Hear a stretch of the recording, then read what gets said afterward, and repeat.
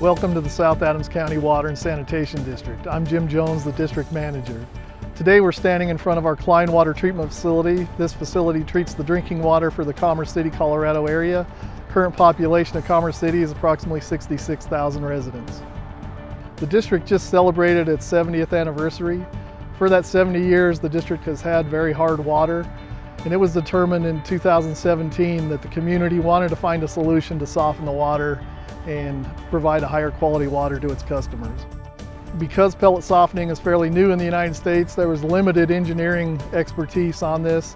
Uh, we did a search, uh, did an RFP process, and found that Carollo had the most experience with pellet softening in the United States with some of the projects that they'd worked on in California. Um, so we hired Carollo Engineering to do the design and construction management of the project teamed them up with Moltz Construction, uh, did the project as a CMAR project to, uh, one, make the design quicker and, and, and, and easier to do, working with the contractor, and also making that partnership early on in the process to make it a successful project. One of the things to recognize about South Adams County is they get and purchase some water from Denver Water, as well as this localized groundwater source. And there's always been a very large disparage between the hardness of the local groundwater, which is about 380 milligrams per liter, and the hardness of Denver water. This facility can take that 380 milligram per liter hardness, reduce it down to that 115, and provide it to its customers.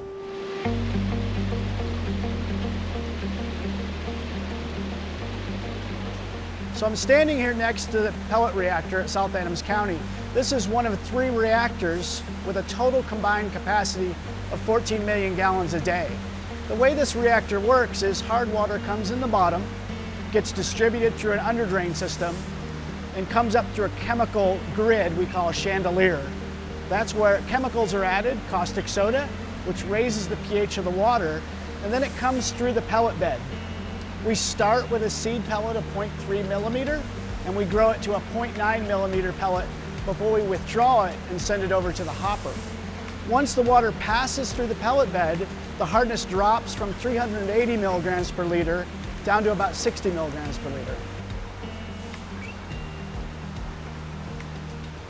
One of the benefits of the pellet softening process is it creates a 98% solid pellet that free drains very easily and dewaters so that it can be hauled away and used for a lot of different potential beneficial use applications, such as feeding to livestock because they need calcium in their diet, can be distributed on fields to raise the pH of the soil, and also can be used in a lot of different admixtures to lighten concrete, masonry block, and a number of different things.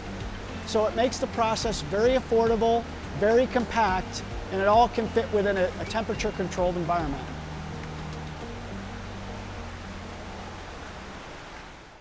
Uh, we started this project uh, April of 2019 and finished it June of 2021. We were successful in bringing it on online on time, uh, what we consider on time and on budget because the team worked in a collaborative approach.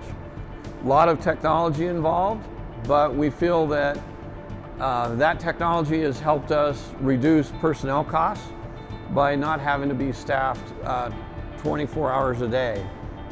Part of the contract was um, that the engineer, Carollo, would come in and operate the system for a period of two weeks and prove that it um, would operate as designed. Carollo was able to come in and perform the components of the performance guarantee and also provide um, staff uh, direction on optimization of the facility during that time. I've had the opportunity to work for the district for the last 30 years and during that time we've accomplished a lot of great things including acquisition of water resources, addressing environmental challenges, but the one thing that we weren't able to do is to soften the water and improve the overall quality for our customers. This project has allowed us to do that and met a, a, a big need of the community and, and greatly improved the quality of this water for the community of Commerce City. South Adams County was forward thinking to select a technology that hasn't been used in the United States very often to deliver both the water quality requirements that they wanted at the cost their customers could afford. Carollo is proud to be part of the team to deliver that project and water quality.